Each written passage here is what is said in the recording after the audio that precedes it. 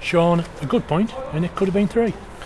Yeah, possibly should have been. I think they've had one shot on target, and unfortunately, Pete's probably, I'd say, made a mistake again. But great character by the lads, you know, come from behind twice.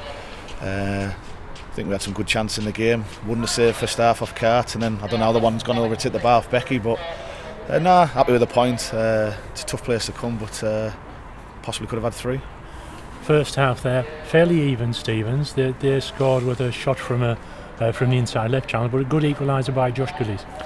Well, Josh has got that in his locker, he? You know, if you want someone in around that area, it's Josh. I mean, uh, I think it was a deflection for the first goal. It looked like he went straight in, but the lads are saying it's hit Marzi. So, yeah, I mean, uh, it's, like I said, it's a hard place to come. And uh, obviously, beating them the other day, they'd, they'd, they'd, they'd want to put one over us. So, delighted to go in at half time. You know, it changes your team talk getting that goal, and uh, the lads were full of confidence second half, and uh, you know, kept taking the game which, which was pleasing.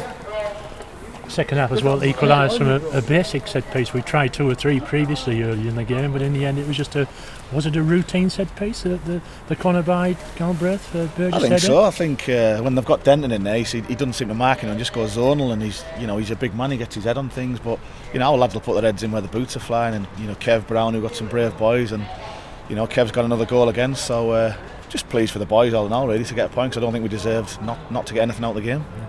But looking at it overall, though, start of the season, considering that Halifax won the trophy, or were in the Conference Premier last season, we were two divisions below them. The start of the season, if we said, right, we'll take four points out of Halifax, we'd have taken that, wouldn't we? Yeah, absolutely. I mean, the, you know, they've been, a, like you said, the conference won the trophy. They've got a, a miles bigger budget than us, and uh, it's, it's great. The lads have really really stepped up this year. You look at people like Leon Scott Brownie who, who, with the Northern League boys, and you know it's a great great story for them that we, we are three or four leagues up and and they're still not only competing but you know being the better side on, on quite a few occasions. What was it like when you managed it? Today? I'll gladly give that back to Mark when he comes back. But no, it was good. It was you know if we would have got beat, it'd have been disappointing. But it was nice to get a point. Like I said, coming from behind twice just shows what we've got in the dressing room. A great bunch of lads.